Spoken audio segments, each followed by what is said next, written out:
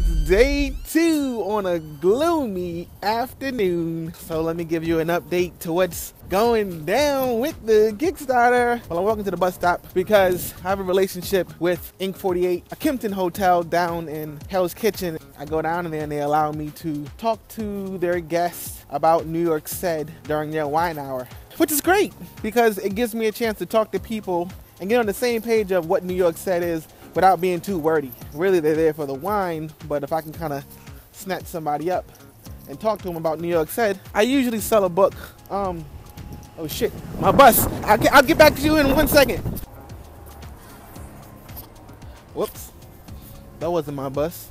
All right, I forgot where I was. Oh yeah, Ink 48. I love that relationship. I've learned a lot and I've been doing it for about a year, so that's cool.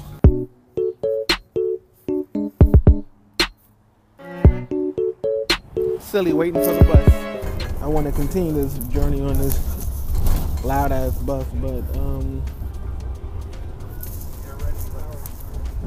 I don't think I can do it.